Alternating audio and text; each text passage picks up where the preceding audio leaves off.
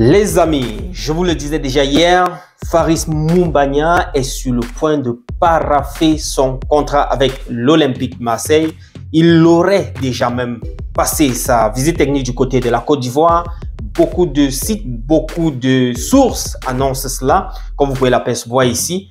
Et depuis un certain temps, depuis quelques jours, il est en train de discuter dans la Cannes, la Coupe d'Afrique des Nations, en Côte d'Ivoire avec le Cameroun où on sait déjà jusqu'à quel niveau ils vont aller en compétition. Et en fonction donc du niveau qu'on va atteindre dans la compétition, il pourra donc se libérer et aller du côté de Marseille pour pouvoir finaliser son contrat. Mais pour l'instant, il reste dans la tanière. Il est avec ses coéquipiers en train de préparer le match de vendredi contre le Sénégal, qui ne sera déjà pas un match très très facile, vu, euh, je vais dire ça comment, l'état d'esprit, la pression, le fait qu'on ait commencé le championnat avec 1-1, un match nul contre la Guinée-Conakry. Ce sera déjà un match très très difficile pour nous parce que l'adversaire est coriace. C'est l'une des meilleures équipes en Afrique actuellement, mais on reste les Lions indomptables. On compte sur notre Hemley, notre puissance et on croit en nous dans tous les cas.